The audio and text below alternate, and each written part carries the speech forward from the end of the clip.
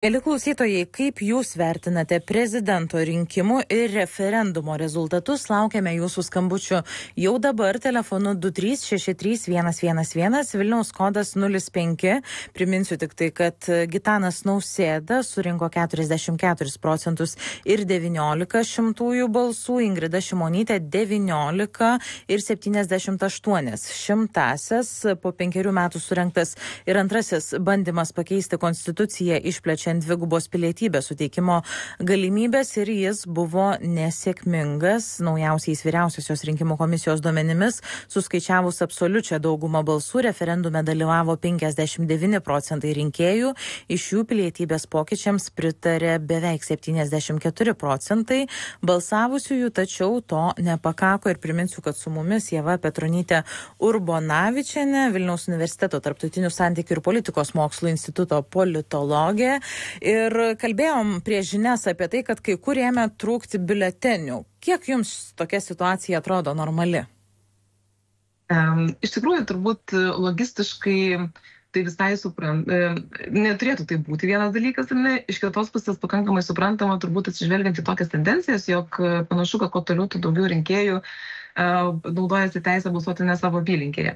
Tai šiuo atveju turbūt yra gana sunku irgi tiksliai labai suprognozuoti vyriausiai rinkimų komisijai, kurioje apylinkėje kiek, kiek konkrečiai rinkėjų nubalsuos, galbūt čia yra remiam, remiamas ankstesnių metų duomenimis sunku pasakyti, tačiau iš tikrųjų turbūt tas logistikos klausimas, jisai taip, iš vienos pusės neturi jo būti, neturėtų būti tokios situacijos, iš kitos pusės, e, na, kažkiek turbūt irgi galima suprasti, nes prispausinti daug biuletenių visiems įmanomiems e, vėlgi rinkėjams ar ne, ir vėliau juos išmesti, atsiriamė tą pačią ekonominius ir finansinius dalykus.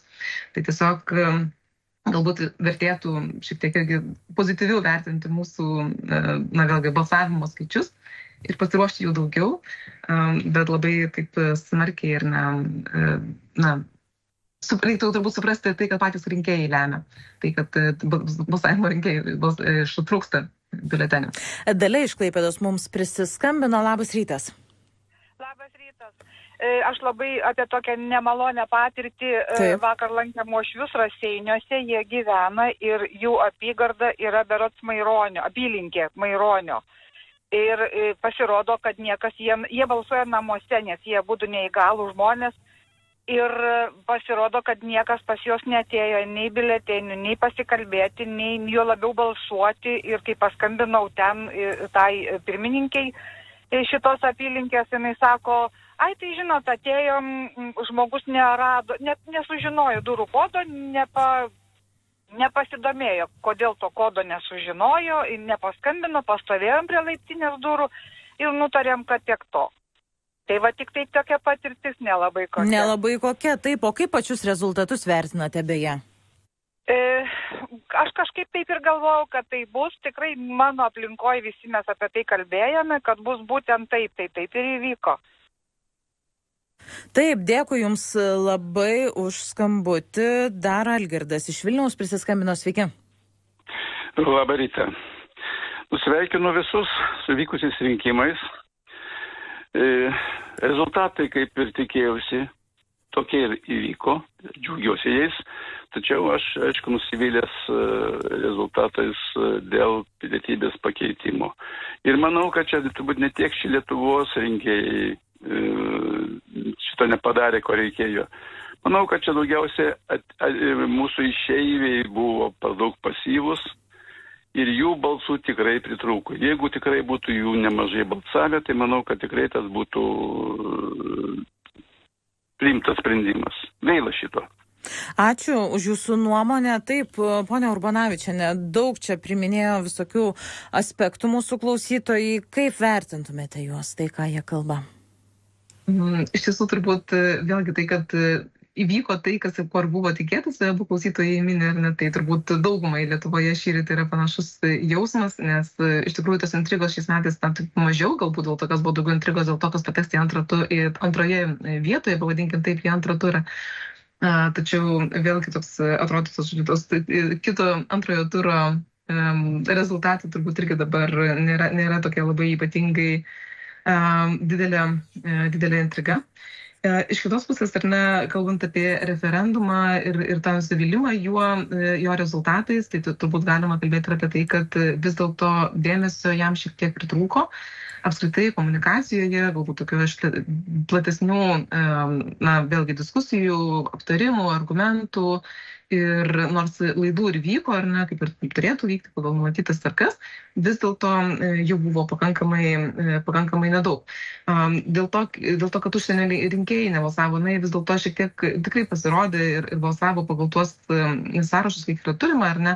Yra, vėlgi, VRK skaičiuoja, kad balsavo daugiau negu 67 procentai užsienio lietuvių, tai vėlgi yra toks, na, aukštesnis skaičius negu, negu, ne, ne, negu vėlgi Lietuvos vidurkis, e, vis dėlto turbūt na, reiktų suprasti, kad ne visi e, yra registruoti ir ne užsienio e, atstovybėse ir atitinkamai turbūt neįtraukiamai yra šitą skaičių, tai galbūt galima tikėtis, kad na, galėjo būti ir dar aukštesnis balsavimas.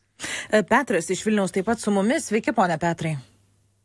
Gero ryto, labai džiaugiuosi ir turbūt visi žmonės džiaugiasi, kad Nausėda ir Ingrida išėjo į antrą etapą, turą, bet labai liūdna, kad 30 metų praėjo ir Lietuvos kūne yra žaizdos.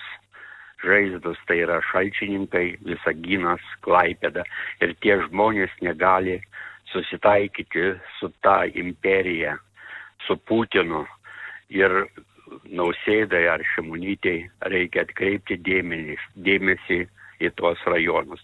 Ir ypatingai Vilniuje rusakalbė mokykla, kur laikė atostogų vežami vaikai į Rusiją ir ten jiem dvasios įkvėp putiniškos. Tai čia problema ir neturi, ir mes visą Lietuvą neturim džiaugtis tuo reikia gydyti mūsų kūną, kad mes būtume vieningi. Ačiū, ponė Petrai, už jūsų nuomonę. Janina iš Kauno dar išklausykime. Sveiki, ponė Janina.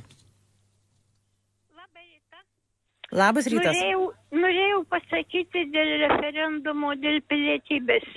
Pas mus tik tai dabar šneka apie kiekybę, kad reikia Lietuvai kuo daugiau, kad būtų piliečių.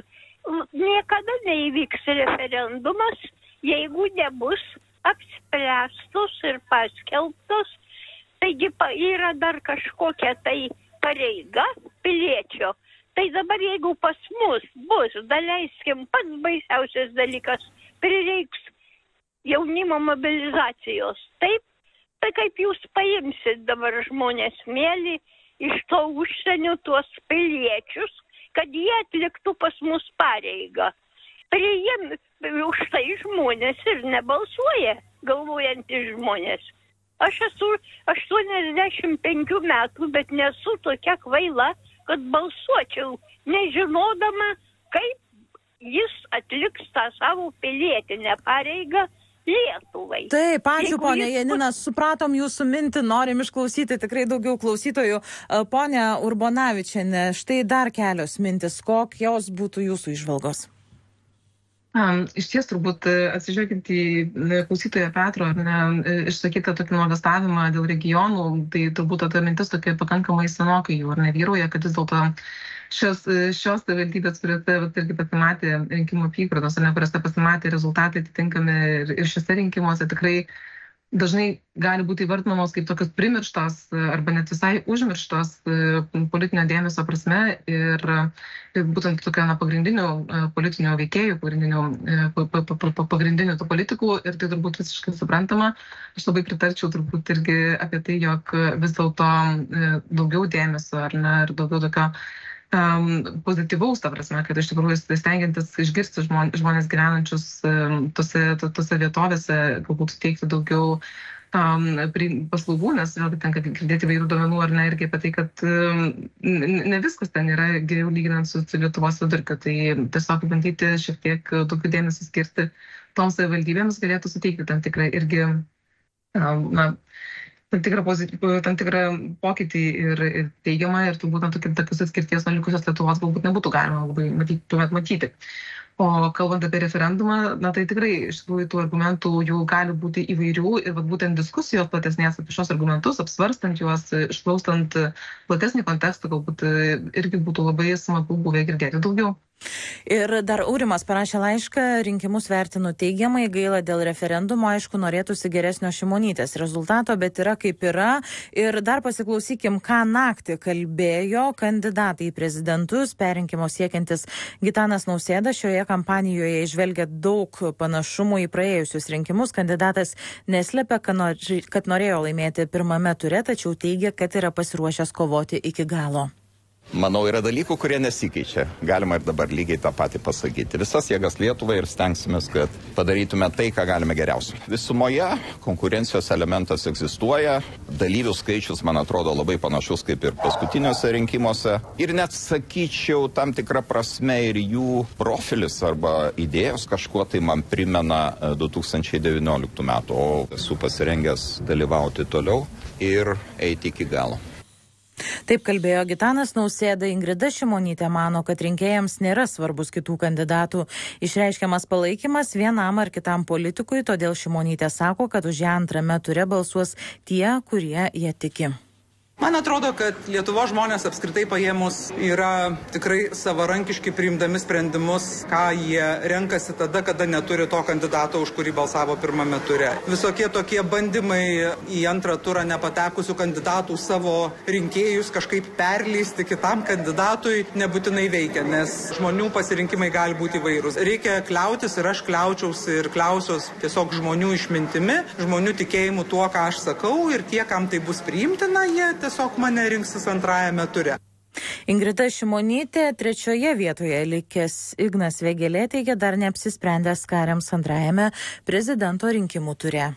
Nežinau. Aš visada tą sakiau, paimsiu porą savaičių pertraukos, permastysiu, padėkosiu žmonėm, kurie padėjo, nes aš turiu didžiulį palaikymą ir pagalvosiu, ar tai, ką žadėjau žmonėm, ar aš galiu įgyvendinti į dalyvaudamas Seimo rinkimuose. Prezidentų, bet būdamas kitokioje pareigybėje politiniai. Tai jeigu jau bus sprendimas e, eiti į Seimą toliau, tai akivaizdu, kad reikės pasirinkti. Ar tas sprendimas jėgą. bus greičiausiai su valstiečių partija?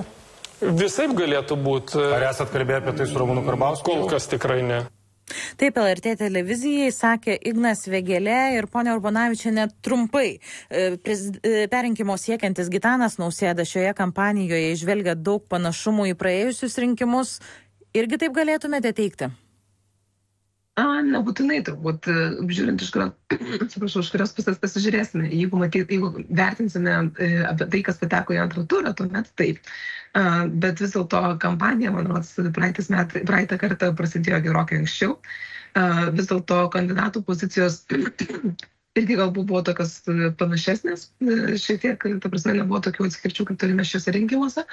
Ir, atsiprašau labai. Nieko, politologam toks metas, kai jau kimsta visi po daug komentarų, taip. Ir iš ties turbūt galima tikėtis, kad antrame turime to panašumo matysime daugiau su 19 metų rinkimais, negu kad turėjome pirmame. Ačiū Jeva Petronytė Urbanavičiane, Vilniaus universiteto tarptautinių santykių ir politikos mokslų instituto politologė.